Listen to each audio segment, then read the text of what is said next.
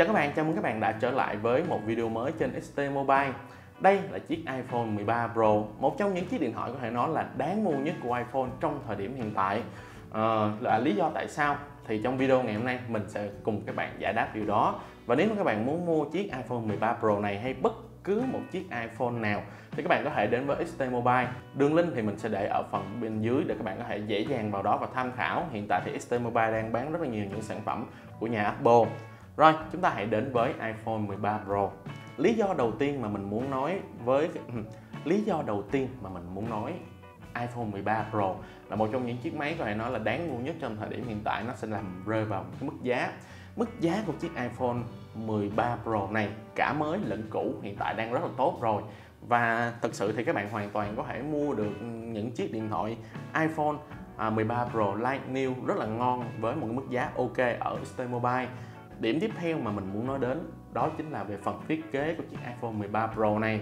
Có thể nói cái thiết kế của chiếc iPhone 13 Pro này là một cái thiết kế mới nhất của iPhone rồi. Các bạn vẫn sẽ có mặt phía sau được làm theo kiểu nhám như thế này. Các bạn vẫn sẽ khó khung viền làm bằng thép không rỉ.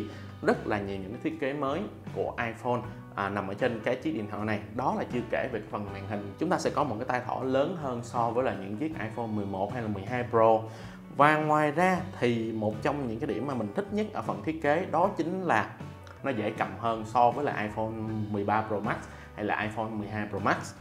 Và lý do giúp cho nó dễ cầm hơn là nó nhỏ gọn hơn so với lại những chiếc điện thoại kia và thậm chí nó cũng nhẹ hơn rất là nhiều. Điều này sẽ giúp cho các bạn, với những ai mà các bạn không thích có một cái điện thoại quá lớn hay là các bạn nữ, các bạn muốn có cho mình một chiếc iPhone thuộc dòng Pro nhưng mà các bạn lại không thích nó quá nặng hay là không thích nó to quá các bạn, khó cầm. Thì iPhone 13 Pro sẽ là một trong những sự lựa chọn rất là tốt cho chúng ta. Mặc dù là nó vẫn rất là đầy đủ sử dụng, không giống như những chiếc như là iPhone à, 11 Pro hay iPhone à, XS này nọ, mà nó sẽ có một kích thước vừa vặn hơn và một cái màn hình đủ dùng hơn.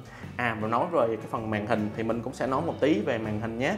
Đầu tiên thì chúng ta phải nói đến cái việc là ở trên iPhone 13 Pro, các bạn sẽ có một cái màn hình có cái tai thọ lớn hơn tức nghĩa là cái khả năng sử dụng của nó cái diện tích để các bạn có thể sử dụng ở trên cái màn hình này cũng sẽ lớn hơn. Bên cạnh đó thì đây là một cái màn hình 6,1 inch không phải 5,8 inch. Vì vậy mà việc mà các bạn sử dụng một cái màn hình như thế này nó đã khá là đủ rồi. Và nếu mà các bạn so sánh với lại iPhone 13 Pro Max thì cái màn hình của iPhone 13 Pro Max lớn hơn không quá nhiều so với lại iPhone 13 Pro. Cho nên mình nghĩ rằng đây sẽ là một, một cái màn hình phù hợp nhất dành cho chúng ta để các bạn có thể sử dụng. À, bên cạnh đó cũng phải nói đến một vài những cái thứ khác. Ví dụ như các bạn sẽ có một cái màn hình ProMotion 120 Hz. Ngoài ra thì tất nhiên đây cũng sẽ là một cái điện thoại sử dụng cái màn hình là XDR OLED hay là các bạn sẽ có độ phân giải là Full HD cộng.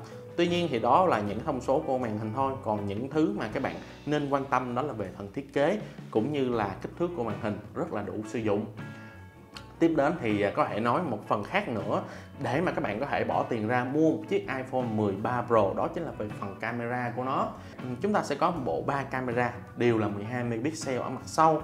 Tuy nhiên thì các bạn còn sẽ có thêm một cái uh, camera LiDAR nữa. Nó nhìn nó sẽ hay ho hơn nhìn nó sẽ uh, thu hút hơn rất là nhiều khi mà chúng ta có những cái công nghệ uh, LiDAR tốt hơn so với lại những phiên bản iPhone 12 hay là iPhone 11 ngoài ra thì iPhone 13 Pro sẽ sử dụng chung cái hệ thống camera sau với lại iPhone 13 Pro Max. Cho nên gần như tất cả mọi tính năng, mọi khả năng chụp ảnh ở trên chiếc iPhone 13 Pro Max thì các bạn vẫn sẽ có trên chiếc iPhone 13 Pro này. Chúng ta vẫn sẽ có những cái quay video cinematic này nọ. Cho nên là các bạn hoàn toàn có thể là tự tin chúng ta mua chiếc iPhone 13 Pro này và chụp ảnh để so sánh với lại iPhone 13 Pro Max bởi vì nó giống y chang nhau mà. Còn nói về những cái như là chất ảnh hay là video quay được, chụp được ở trên cái camera này thì mình có thể nói iPhone chưa bao giờ là những chiếc điện thoại chụp ảnh không tốt cả. Nó luôn luôn nằm ở top. Có thể là đôi khi nó sẽ không nằm ở top 1 nhưng mà nó luôn luôn nằm thuộc top 5 những chiếc điện thoại chụp ảnh đẹp nhất trong mọi năm. Cho nên nếu mà các bạn quan tâm với việc chụp ảnh và quay video ở trên à, điện thoại thì iPhone 13 Pro sẽ là một sự lựa chọn vô cùng tuyệt vời dành đến cho các bạn tiếp đến thì chúng ta bắt buộc phải kể đến, đó chính là vi xử lý của chiếc điện thoại này, Apple A15 Bionic. Một cái vi xử lý có thể nói là mạnh nhất trong thời điểm hiện tại rồi. Tuy nhiên thì đối với những ai mà các bạn đã từng sử dụng qua iPhone thì các bạn cũng sẽ biết là đối với những chiếc iPhone thì khi mà chúng ta sử dụng chơi những cái tựa game à, gọi là hardcore một tí đi, chơi những cái tựa game nặng hay là các bạn chơi game nhiều đi, ở trên những chiếc iPhone thì nó sẽ có một cái tình trạng đó là nóng máy và nó sẽ giảm cái à, mức độ sáng cũng như là và nó sẽ giảm cái độ sáng màn hình xuống cũng như là giảm xung của vi xử lý xuống.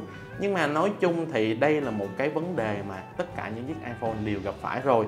Và theo như những gì mình có biết thì gần như những ai mà trong thời điểm hiện tại chúng ta mua những chiếc iPhone 13 Pro hay 13 Pro Max hay là những chiếc điện thoại mắc tiền như thế này thì đa số là những người thuộc dạng là doanh nhân hay là những người có rủng rỉnh một tí về à, tài chính thì à, gần như là chúng ta sẽ ít khi nào các bạn sử dụng những cái à, tính năng như là chơi game quá nhiều. Có chăng thì cũng là chơi một thời gian nhất định mà thôi không phải là quá nhiều. Bởi vì với những cái người như là doanh nhân như thế này thì à, thời gian mà chúng ta dành cho việc chơi game hoặc là sử dụng điện thoại nó không còn quá nhiều nữa.